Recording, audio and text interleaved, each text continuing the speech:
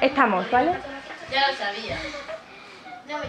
Los cabe- lo que suena son los cabezazos tuyos, Ramón. Ya lo sabía. Pues ya paramos. Venga, ¿preparados? Cuento tres y entramos.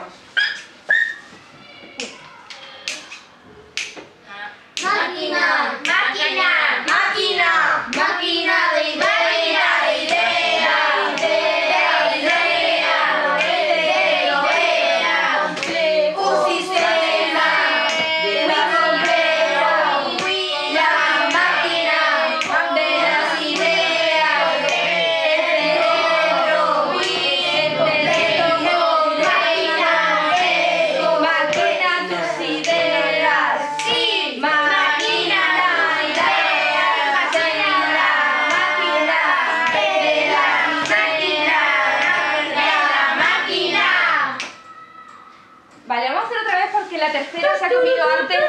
Se ha adelantado un pulso.